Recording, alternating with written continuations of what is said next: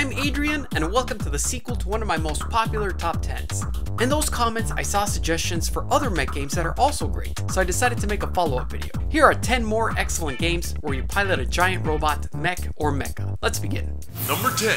Override 2 Super Mech League.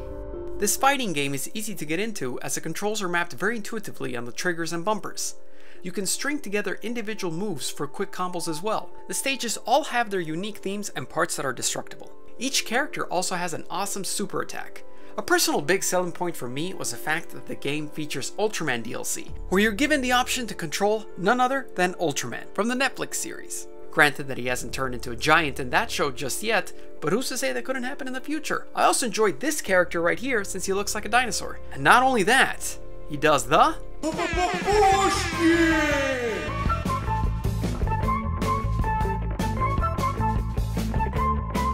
So yeah, giant mechs and the legendary push kick? Game of the year. Number 9. Project Nimbus.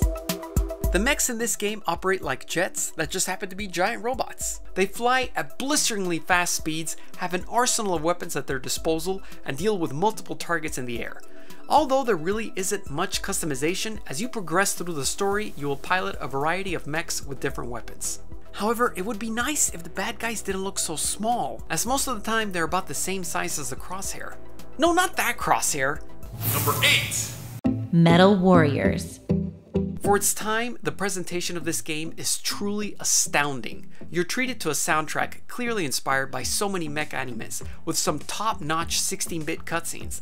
The gameplay itself is also pretty awesome, as you've got an integrated jetpack, powerful weapons, and can even get out of your mech at will. As you progress through the game, you will control other mechs, and they each have their own unique design and function as well. So if you're looking for a classic mech side-scrolling game straight from the 90s, you can't go wrong with Metal Warriors published by Konami and developed by LucasArts. I guess the lightsaber makes perfect sense now.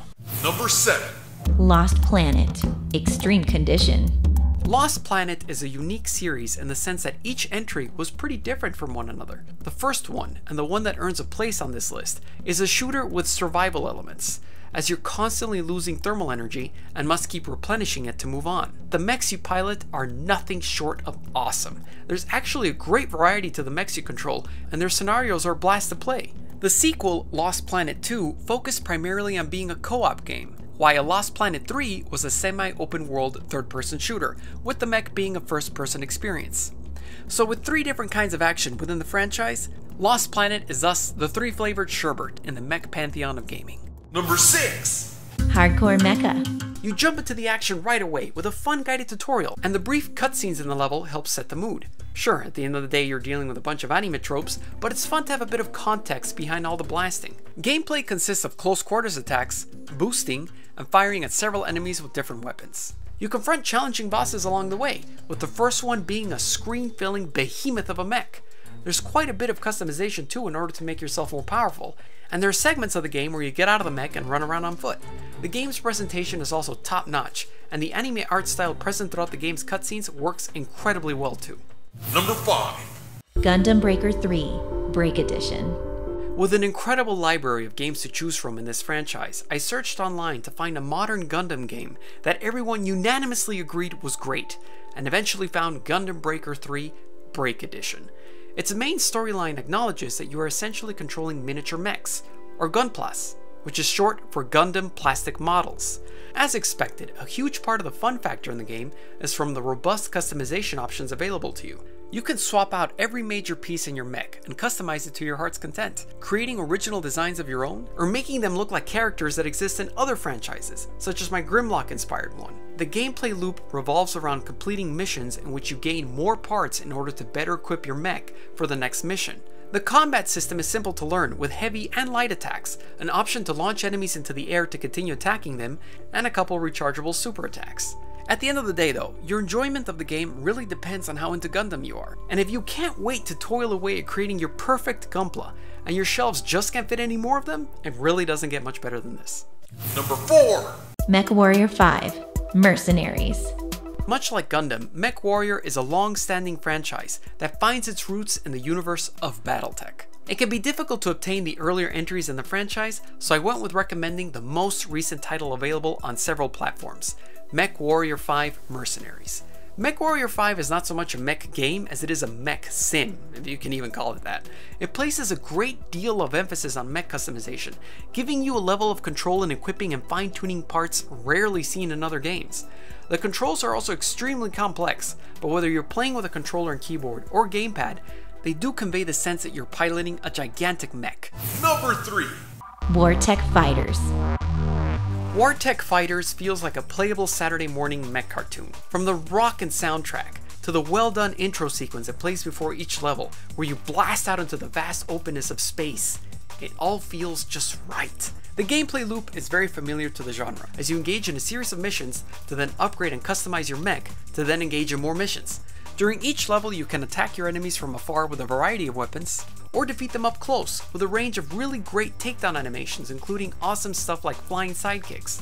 Your enemies will also lock onto you pretty easily, so using your shield wisely is essential. A definite highlight for me is that you can engage in one-on-one battles with enemy mechs, with the game switching into an intense sword fight minigame. The customization options are pretty great too, and have their own unique design to them. That being said, there is one annoying thing the game does, and that is occasionally asking you to find random sections in some space pillar. It feels like stopping a really great movie to look for your keys. Number 2. Zone of the Enders, the second runner. In my previous top 10 mech games, I included the first Zone of the Enders, but did not include the second one because I remembered not liking it too much. But I read your comments suggesting I give it another shot, and I found myself enjoying it a lot more the second time around, nearly 7 years after I had last played it. It's an extremely well made sequel from every corner, the gameplay is just as refined, intense, and enjoyable as the first entry, with slight modifications to make it even better. You shoot different projectile attacks from afar, and have sword attacks up close where you can launch your enemy upwards or downwards at the end of a combo. You also have a host of incredibly cool sub-weapons to play around with during combat, along with a refined targeting system for taking out multiple smaller enemies at once.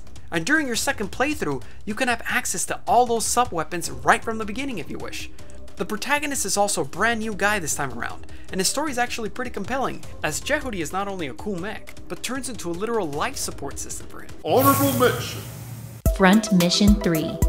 If you're looking for a top tier mech RPG experience with a great story and excellent gameplay mechanics, you need to play Front Mission 3, the very first Front Mission released outside of Japan and one of the best in the series. Number 1. Armored Core for answer. This game takes all that intricate customization, challenging gameplay, and great mechanics from the series and turns it to 11. It's Armored Core at its core, but the game's pace and action increase considerably. So if you want classic Armored Core gameplay and the ability to truly fly, I highly recommend Armored Core for Answer. I'd like to thank each one of my Patreon members as their contribution helped in the making of this video. If you'd like to contribute and appear in the credits in the future, my Patreon page is Godzillarex and it's in the description below. Thanks for watching. Which is your favorite mech game? Let me know in the comments below, make sure to subscribe for more awesome videos, and see you next time.